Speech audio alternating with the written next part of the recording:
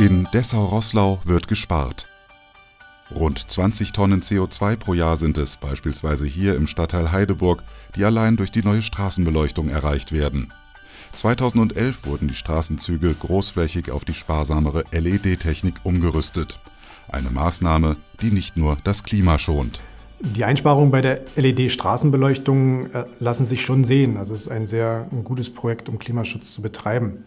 Etwa die 100, etwa 100 Leuchtpunkte, die in Dessau-Roßlau durch das Projekt ähm, umgerüstet wurden, sparen etwa 4000 Euro jedes Jahr an Stromkosten ein. Und natürlich auch etwa 20 Tonnen CO2. Also es ist eine gute Maßnahme, um Klimaschutz in einer Kommune auch sehr kurzfristig umzusetzen.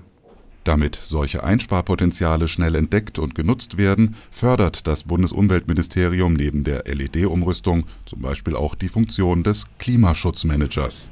Mit Erfolg. In der Stadt in Sachsen-Anhalt gehen die Klimaschutzbemühungen weit über die neue LED-Beleuchtung hinaus. Die Bandbreite reicht von der Altbausanierung bis hin zum Ausbau erneuerbarer Energien. Ein Projekt beispielsweise ist, das Krankenhaus hat ähm, sehr viel schon umgesetzt in den einzelnen Bauabschnitten mit Energieeffizienz, beispielsweise in der Lüftungsanlage oder Wärmerückgewinnung.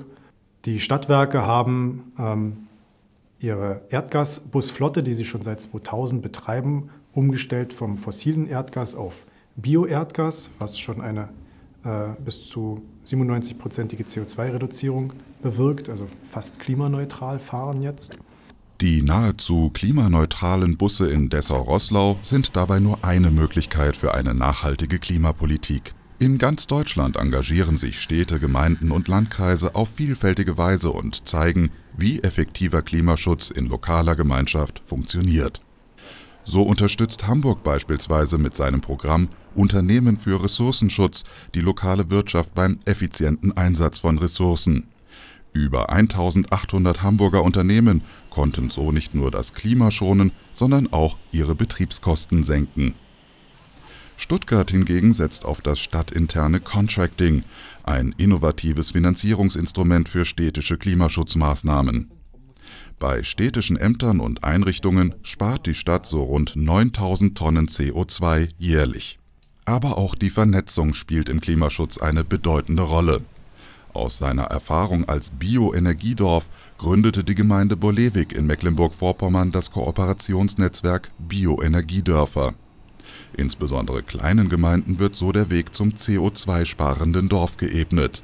Städte und Gemeinden wie Dessau-Roßlau, Hamburg, Stuttgart oder Bolewik, sie machen vor, wie kommunaler Klimaschutz funktioniert und leisten dabei einen wichtigen Beitrag zur Energiewende. Die deutsche Zielstellung die Energiewende zu bewältigen, bis zum Jahre 2050 praktisch CO2-frei zu werden, ist ohne CO2-freie Kommunen unmöglich. Das heißt, nur wenn es den Kommunen gelingt, ihre Zielstellungen der CO2-Freiheit zu erreichen, wird unser gesamtes Land die Energiewende schaffen können.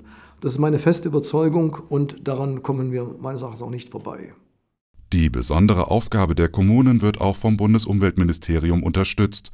Seit 2008 konnten mit der Nationalen Klimaschutzinitiative bereits mehr als 2200 Projekte in 1500 Städten und Gemeinden gefördert werden. Dabei verfolgen alle gemeinsame Ziele: Energie effizienter nutzen, das Klima schonen und Kosten sparen. Neben der Förderung von Konzepten, Klimaschutzmanagern und aktuell der LED-Straßenbeleuchtungen gibt es auch Wettbewerbe und Aktionsprogramme für kommunale Vernetzung und Schulungen. Denn nur gemeinsam lassen sich die ambitionierten Klimaziele Deutschlands erreichen.